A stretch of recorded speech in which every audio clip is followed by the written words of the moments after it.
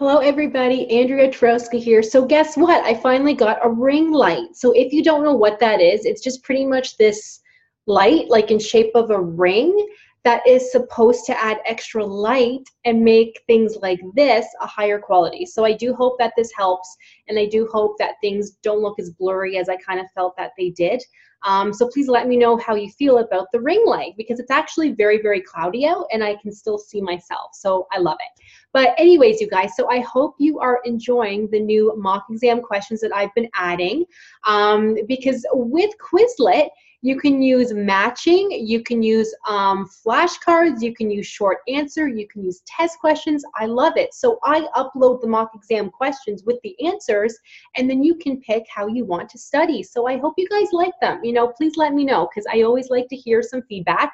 Um, it always takes me a while to make them, so that's why I'm not putting on a lot of um, topics yet because it takes me a good couple hours to make one of them.